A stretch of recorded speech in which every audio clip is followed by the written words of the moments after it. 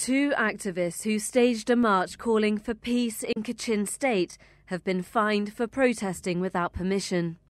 May Se and Maranjor Gun were fined by two township courts in Rangoon. They were each ordered to pay 10,000 kyat to both courts or risk serving concurrent prison terms of one month. Even though the two chose to pay the fine, Maranjor Gun says he will appeal the decision.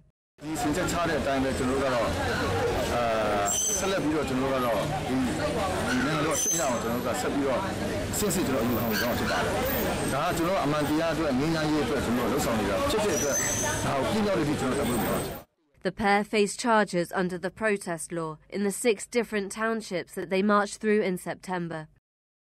While the two prepare for an appeal, they still await verdicts from four of the township courts.